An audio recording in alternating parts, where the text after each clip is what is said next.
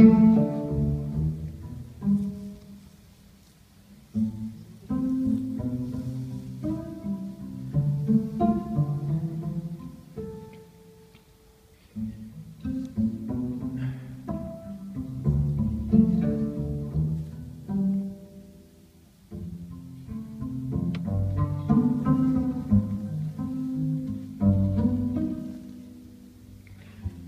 you